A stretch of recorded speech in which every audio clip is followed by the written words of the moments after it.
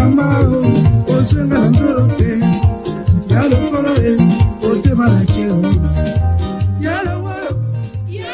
Il était surnommé génie du siècle courant année 1990 par la presse congolaise.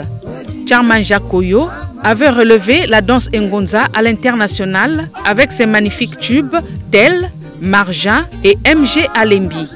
Entré en musique de façon inconnue, après son succès au karaté à Dolizy, Charman Jakoyo a bouleversé la scène musicale congolaise en mettant en exergue le folklore mboshi dans la musique congolaise.